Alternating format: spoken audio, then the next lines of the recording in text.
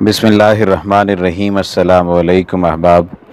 Islamic solution channel میں آپ احباب کو خوش آمدید کہتے ہیں۔ ہنومان کا کردار آپ تمام کے تمام لوگ جانتے ہیں اور یہ بھی جانتے ہیں کہ ہنومان کا جو کردار ہے وہ ہندی جو مذہب ہے، ہندو جو مذہب ہے اور ہندی لٹریچر میں بہت زیادہ اہم گنا جاتا ہے۔ لیکن بنیادی طور پر اگر ہنومان کے بارے میں بات کی جائے، جسے مہاویر اور بجرنگ بلی بھی کہا جاتا ہے۔ ایک ہندو بھگوان اور بھگوان رام کا بھگت ہے، یہ رامائن کے مرکزی کرداروں میں سے ایک ہے۔ اس کا ذکر مہابھارت، کئی پرانوں اور جین مت کے کچھ متن میں بھی ملتا ہے۔ ہنومان نے شیطان بادشاہ راون کے خلاف جنگ میں حصہ لے کر رام کی مدد کی۔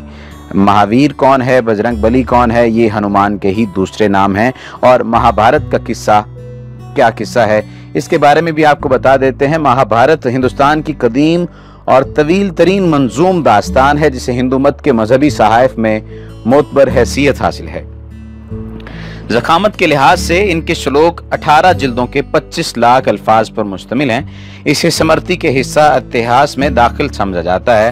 مہابھارت موضوع کے لحاظ سے انتہائی متنوع ہے، جس میں جنگ، راج دربار محبت، مذہب سبھی شامل ہیں۔ والفاظ دیگر یہ چار بنیاد مقاصد حیات، دھرم، ارتھ، کام، مکش سبھی کا مرکب ہے۔ بھگت گیتا دراصل مہابھارت ہی کا مختصر حصہ ہے، مگر اہمیت کے اعتبار سے جداگانہ شناخت کی حامل ہے۔ جداگانہ شناخت کی حامل تمام کے تمام کردار ہی ہیں، لیکن ان میں سے رام کا جو کردار ہے، وہ بھی بہت اہم کردار ہے۔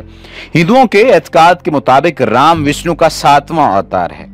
آپ حیران ہو رہے ہوں گے کہ اسلامک سولیوشن چینل میں آپ کو رام، ہنومان اور وشنو اور رامائن کے بارے میں کیوں بتایا جا رہا ہے؟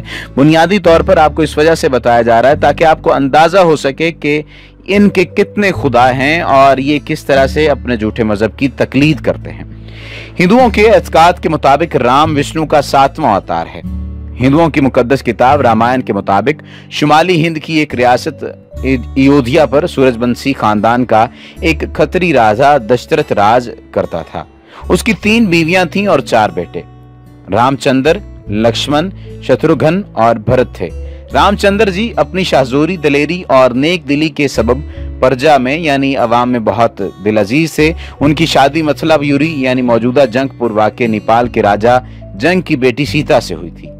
راجہ دسترت کی چھوٹی رانی کہ کئی نے کسی جنگ میں راجہ کی جان بچائی تھی جس پر راجہ نے وعدہ کیا تھا کہ اس کے بدلے میں وہ اس کی ایک خواہش پوری کرے گا۔ راجہ دشترت تو لبگور ہوا تو اس نے رام چندر کو اپنا جانشین بنانا چاہا۔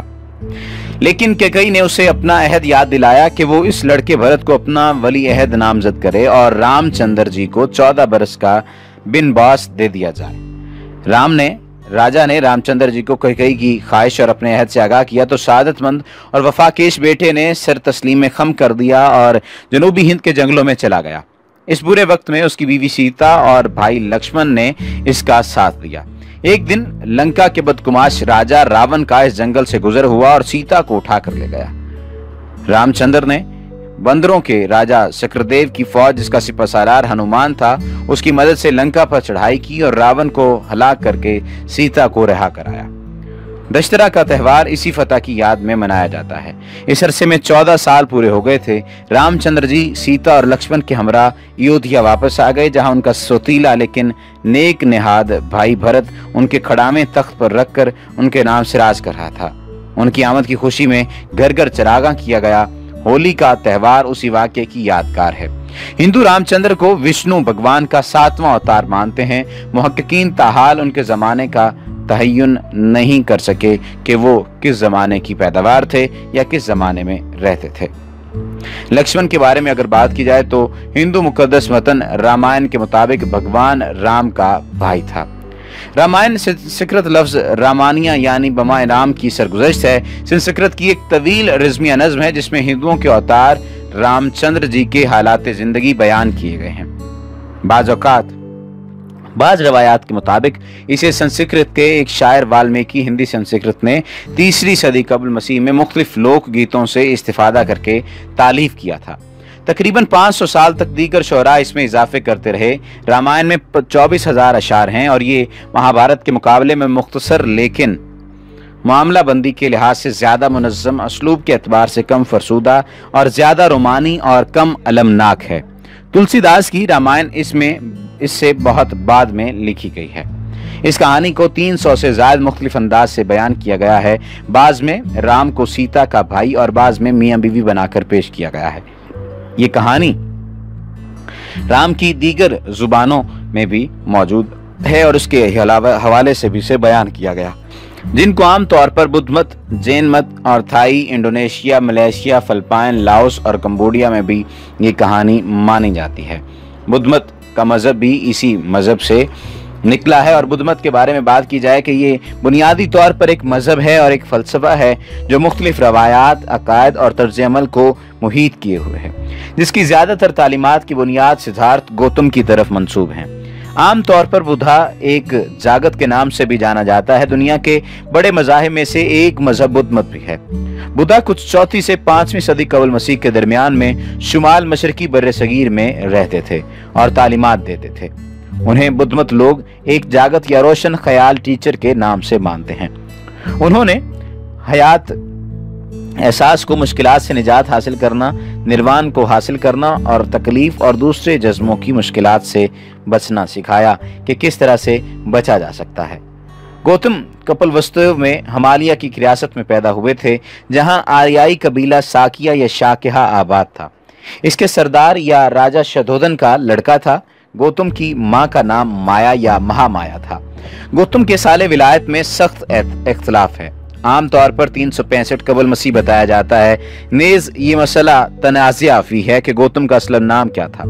بعض لوگ نے سدھارتھ پہلا نام اور گوتم قبائلی نام بتایا ہے، مگر جدید تحقیق کے مطابق ان کا اصل نام گوتم تھا اور سدھارتھ ساکیا منی ساکیا سہنا، جن بھاگوا، لوک ناتھ اور دھن راج وغیرہ ان کے القاب تھے۔ جو کہ ان کے متقدین نے انہیں دیے تھے۔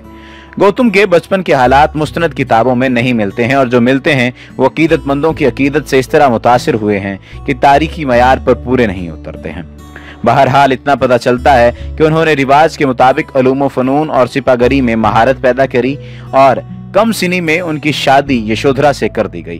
آخر بعض روایات کے مطابق گوتم کی عمر جب تیس کی ہوئی تو ان میں ذہنی تبدیلی ہوئی اور کچھ طبعی رجحان اور کچھ زندگی کے تلخ واقعات نے گوتم کو مجبور کیا کہ وہ ابدی سکون اور مسرت حاصل کر لے۔ اور اسی کوشش میں، اس کے حصول کا طریقہ معلوم کرنے کی کوشش میں وہ ذہنی خلفشار کا شکار ہو گئے۔ اس ذہنی خلفشار کے زمانے میں ان کا ایک بیٹا پیدا ہو گیا تو وہ بول بڑے مزے میں یہ نیا رشتہ توڑنا پڑے گا۔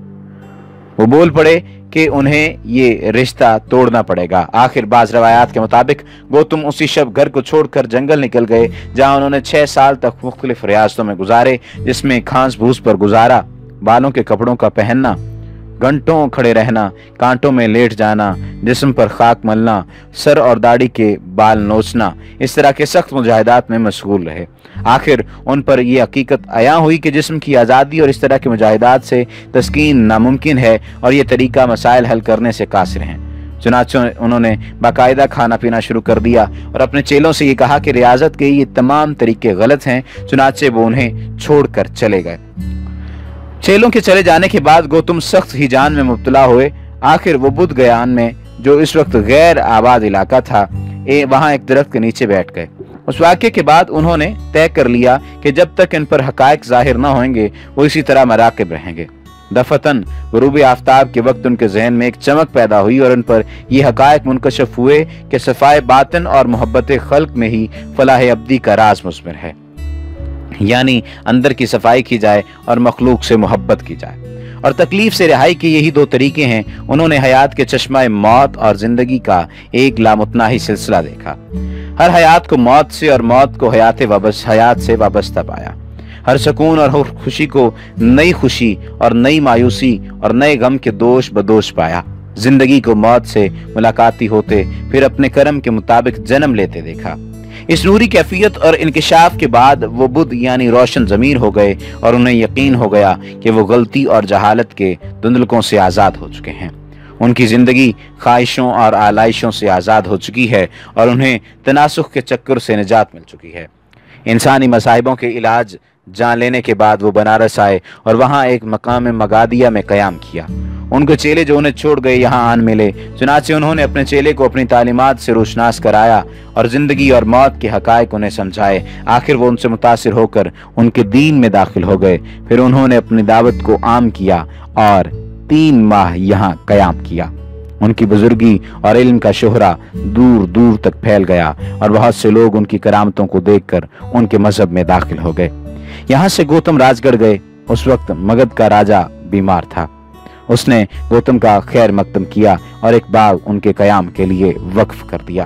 یہاں گوتم نے کئی سال گزارے، وہ ہر سال گرمی اور جاڑے میں تبلیغ کے لیے نکلتے اور برسات میں واپس آ جاتے۔